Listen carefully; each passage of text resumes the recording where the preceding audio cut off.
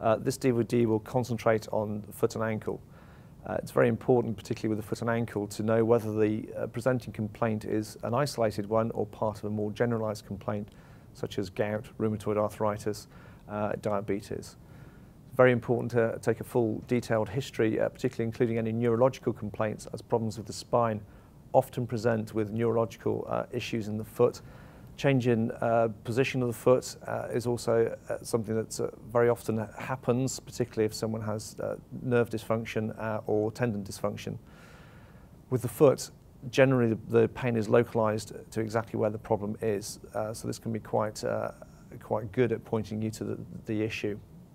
It's also important to understand what problems patients are having with either their job or their social life, and it may be causing problems with even wearing simple footwear. Uh, we'll now move on to examination of the foot and ankle.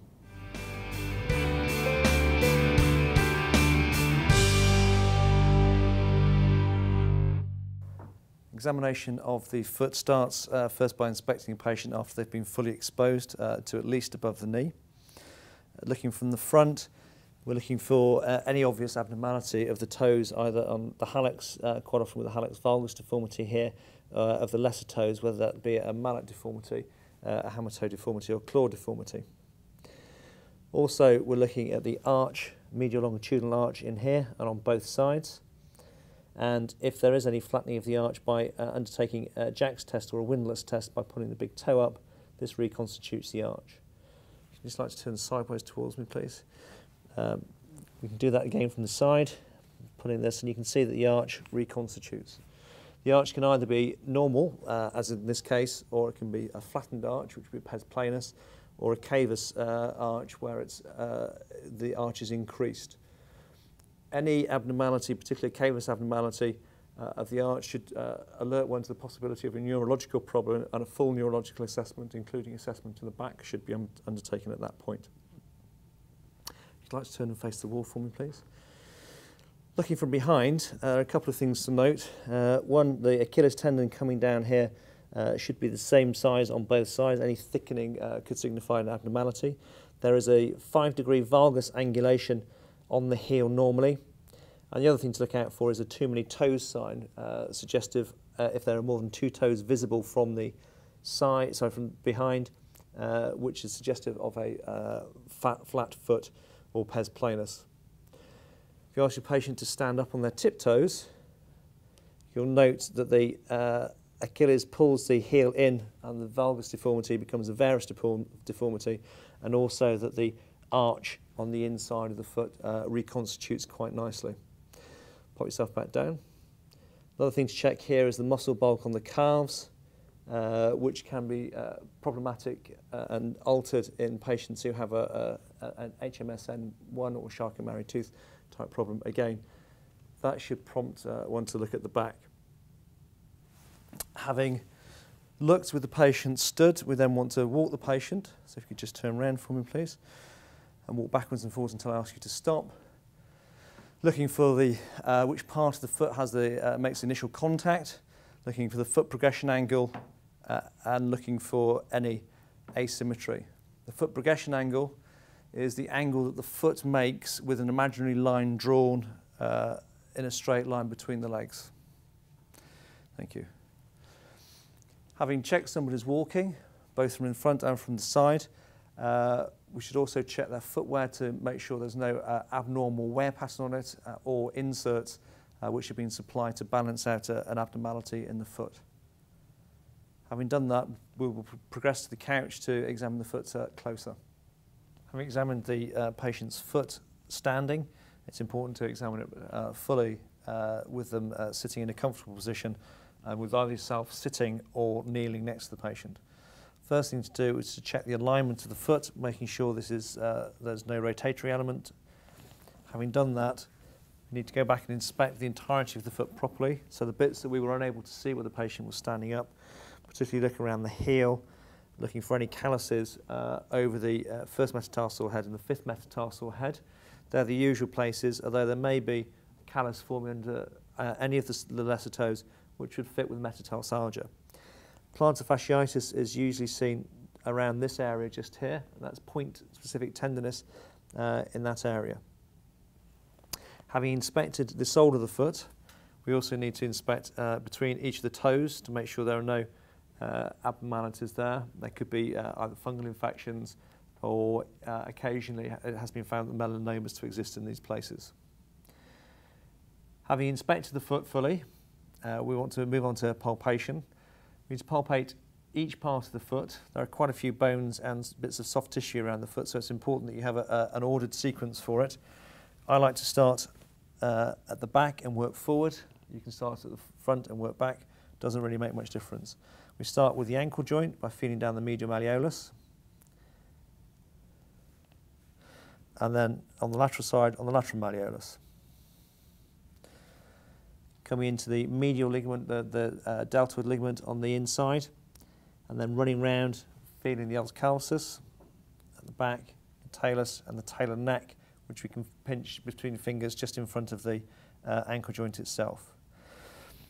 On the lateral side, which is uh, the ligaments that are most often damaged, uh, we feel there's the three ligaments running around uh, in front of the uh, lateral malleolus, the anterior talar fibular ligament being the most commonly injured, the posterior talar fibular ligament, and the calcaneal fibular ligament. Then to feel the bones of the midfoot coming across, trying to feel them individually across the navicular, um, and then the metatarsal bones coming down, palpating along the length again of each of them in turn until we get to the toes and we palpate each of the uh, bones of the toes in order and check the movement of those toes abnormalities such as claw toes, hammer toes, uh, and mallet toes are, are, often found, and some of those are correctable. They are correctable, they can usually be managed without surgery. If they're not correctable and causing problems, they may need referral. Coming on to the big toe, the great toe, just relax for me. So on the great toe itself, there may be a bunion or hallux valgus deformity, or indeed a degree of hallux rigidus. Uh, the great toe should come up in a line from the first metatarsal to the proximal phalanx of approximately 90 degrees in extension. In flexion, it only goes to 30 degrees or so. At the IPJ, the distal phalanx should flex down to somewhere near 90 degrees or so, but does not come back up further than neutral. That's examining the bones, the soft tissues and the joints of the forefoot, and then working back to the hindfoot we need to check on the pronosupination of the midfoot and also check onto the ankle movement uh, itself. To check on the ankle movement itself, if you grab hold of the os by the heel, rest the foot on your forearm, this will help you lock the subtalar joint in place, uh, allowing you to check the ankle movement itself. Having done that, you need to check the subtalar movement by locking the ankle joint with your forearm and rotating at the os calcis underneath the talus. There should be about 5 degrees of movement each side from that. If you find that there is some laxity on testing the anterior talofibular ligament and the lateral ligament complex, it is a good idea to, excuse me, perform the anterior draw test. The ankle joint itself, because of the rotation, tends to point slightly outwards. As such, again, if you grab the heel for support, push back on the shin and pull forwards at approximately 15 degrees to a straight line, you will get some increased laxity found in the lateral ligament if there is an issue, which there isn't in this case